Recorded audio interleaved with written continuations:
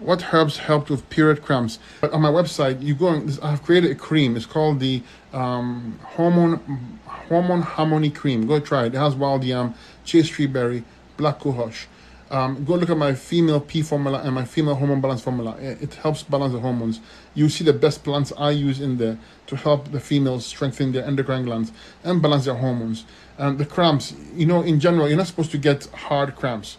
Like you're not supposed to get really painful cramps. You, are supposed to spot.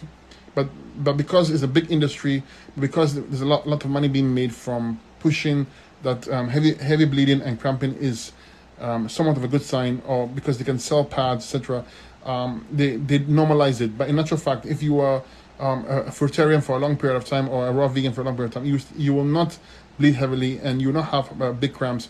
You, you essentially just spot. That's it. But they don't tell you this. If you, if you click my profile link um, and check my, my website, you see the, the formula there. Okay.